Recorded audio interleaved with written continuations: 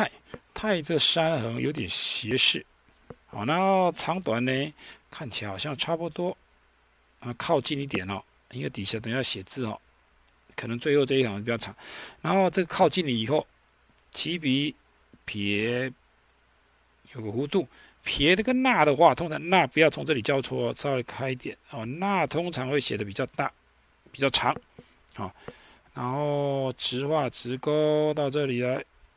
勾起来，然后这个点挑点挑哈，要出露出一点姿态哦，看得出来它有点挑，那这里应该也是有点撇点哦，就这种带动的动作，肯定要把它写出来。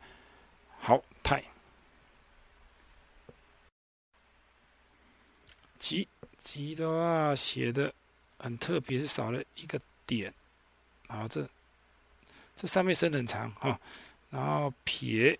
这里不点哦，不点是因为它待会要塞一个口，怕塞不进去吧。好，然后这个竖画是勾直的，直勾没有斜哈，然后这个才把这个口塞进去。所以这里没有点呢，啊，然后记得撇一定短的，因为旁边有字嘛。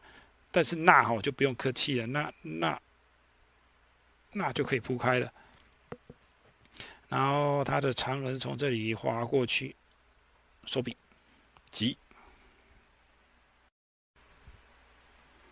好吃吃的人字旁，在我看来是蛮厚的，所以就让它压下去。连这这个竖画都写的蛮饱满的，啊，然后多短的，稍微长的，然后这个点感觉是凸出来的，然后再来一个不太长的长横，再配上一个很长的长横。然后这点呢是有穿透出出去的啊，点有穿透出去。人人的话，最简单的咒语叫做撇短，撇短了。那那不是从中间哦，稍微高一点点那，也没有高很多。那长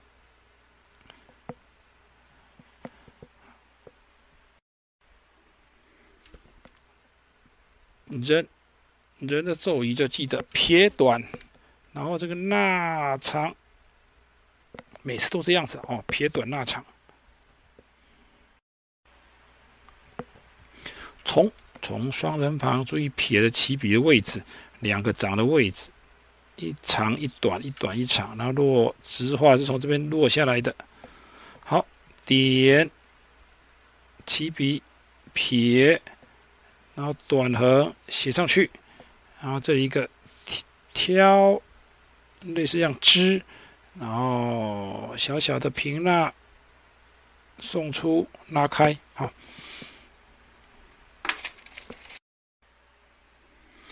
玉玉这个点呢，感觉是这样划过去的，停住，然后再点。可能有人认为是挑上去，也有可能，有可能是这样挑上去哦。没看到他怎么写，不清楚啊。撇点，然后这两个是为了塞那个口。这个口啊，可能写的比较方一点，我觉得它没有收诶，一般都会收拢，可这口觉得写的比较方正。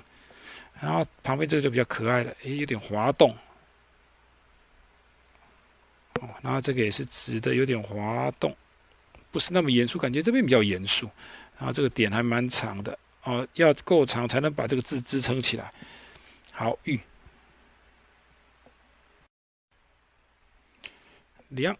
梁的上面看不出来啊，那有人写点，有人写横短横都 OK 了，横画折带下来，然后中间是不粘住的，然后通常上下笔画跟直画，你做一个粘着的动作，然后这个挑可能挑果敢一点，那看起来这个撇啊是从外面这样撇，从它有一个长字来看，应该撇。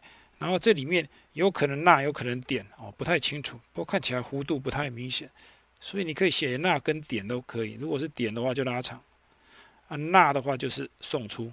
好，量。